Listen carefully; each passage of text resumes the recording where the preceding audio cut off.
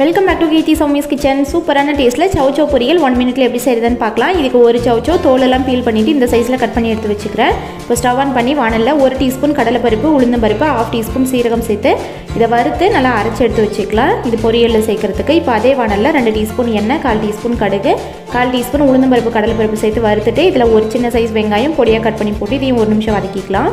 இப்போ இதில் of teaspoon sambar பொடி ஆஃப் டீஸ்பூன் மிளகாய் பொடி சேர்த்து லைட்டாக வறுத்ததுக்கப்புறமா கட் பண்ணி வச்சுருக்க சவுச்சோ கொஞ்சமாக உப்பு போட்டு கொஞ்சமாக தண்ணி சேர்த்து நல்லா வேக வச்சுக்கலாம். மூடி போட்டு ஒரு ஃபைவ் மினிட்ஸ் நல்லா வேகட்டும். இடையில இடையில எடுத்து மிக்ஸ் பண்ணி விட்டுக்கோங்க. காய் ஒரு முக்கால்வாசி வெந்ததுக்கப்புறமா மறுபடியும் கொஞ்சமாக உப்பு தண்ணி சேர்த்து மூடி போட்டு ஒரு த்ரீ மினிட்ஸ் வேக வச்சுக்கிறேன்.